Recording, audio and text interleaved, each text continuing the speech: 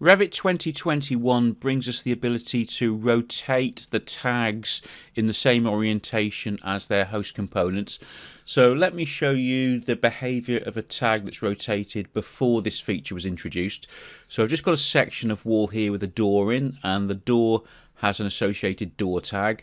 So if we take the wall and we rotate it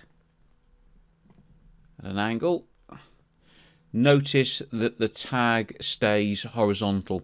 Now, if you rotate the wall completely vertical, so i.e. through 90 degrees, then the, the tag would turn through 90 degrees.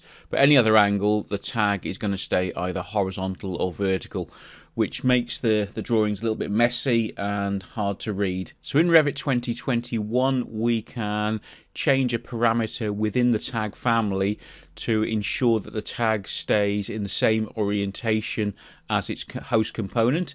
So to do so you've got to drill down into the family itself for the tag. So select the tag, hit edit family, so opens the family editor and if you look at the first thing you're presented with is this new parameter here, rotate with component. So tick that on.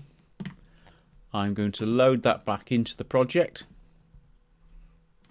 I'm going to overwrite the existing version of this family and its parameter values.